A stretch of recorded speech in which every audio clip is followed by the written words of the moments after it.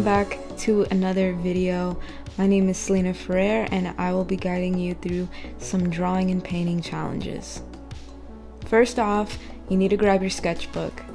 This past week I was working on portraits and landscapes from life. I did some traveling and I was able to get some practice in. I was so excited because it helped me loosen up for this challenge. So the reason I wanted to do this is to improve my skills. So let's start. For my challenge, I chose to represent noble women in history that inspire me. So I started off with a very familiar face, Frida Kahlo. I did charcoal to start out because I liked working on a vertical format. I feel that working on a surface like this helps your arm and your hand to be loose in your movements and to focus on bigger scale than micro detail. I used willow charcoal to start out. It has a finer tip and is for light lines. Then I started to go in with compressed charcoal to get a higher contrast of values in the darker areas of the portrait. I think about filling large shapes before I go into fine detail and then I like to decide on what is my focal point. I definitely wanted to capture her gaze and also the way that she was resting her chin on her hand.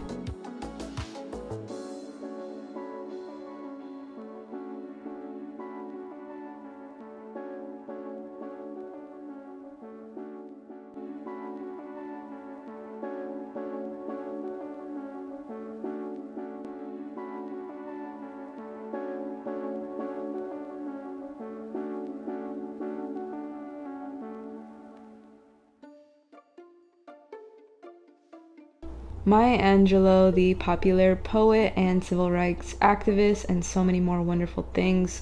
So I drew her smiling, which I've always considered smiling faces to be more difficult, but in this challenge, that's what I'm here for. So I decided to capture this very iconic image of Miss Angelou, and I really enjoyed bringing my focus into the shadows before I went into the fine detail. I found that her mouth was the focal point of this portrait, so I really wanted to take my time and also make sure that the composition of her face was correct since she did have her lean tilted back.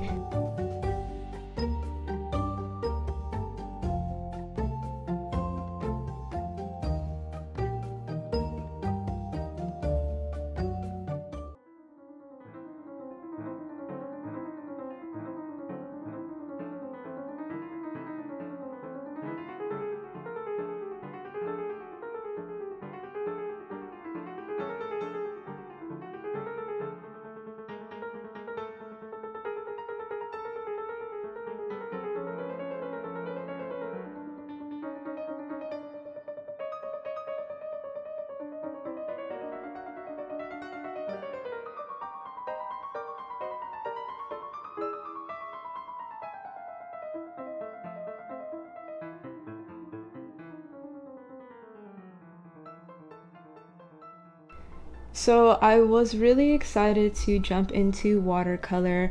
I will be honest, watercolor has always given me so much challenge in the past coming from an oil painting background.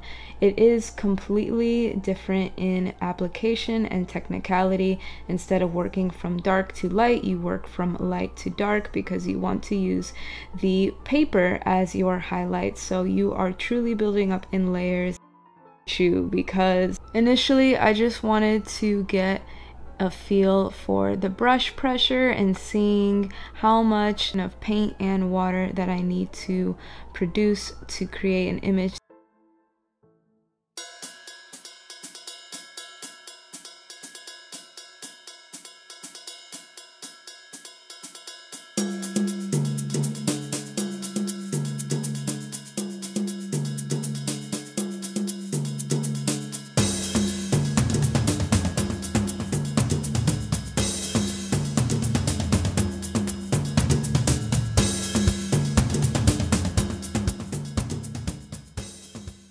I started off these watercolors with watercolor pencils, meaning I can start off a basic drawing composition and then move into watercolor. Therefore, when I want to blend, it won't leave any hard marks, which I really did enjoy.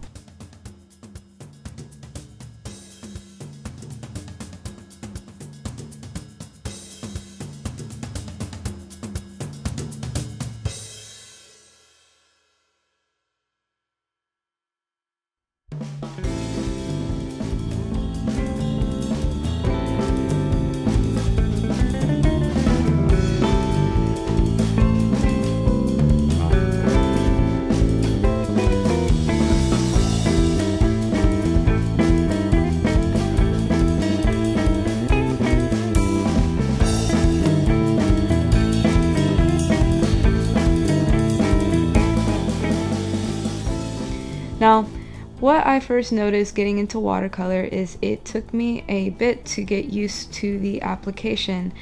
It is about how much water you're adding to your layers and dry time. So I got to figure out as I went in finding a style that I really enjoyed.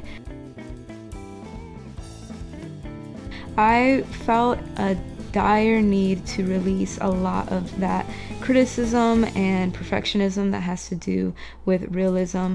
As you see here in these drawings, I am catching a likeness of them, but Initially, I would like to find a more stylized route in how I can bring these characters to life and really emit the true beautiful emotion that they have.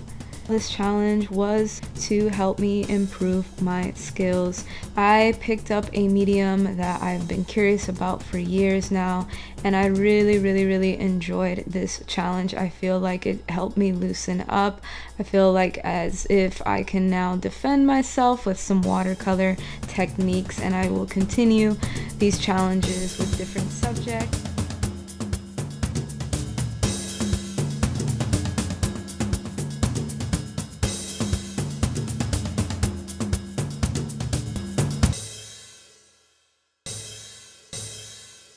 So I encourage you to pick up a different medium today. Get your sketchbook. I hope you enjoyed this watercolor and charcoal study of noble women, and I'll see you in the next video.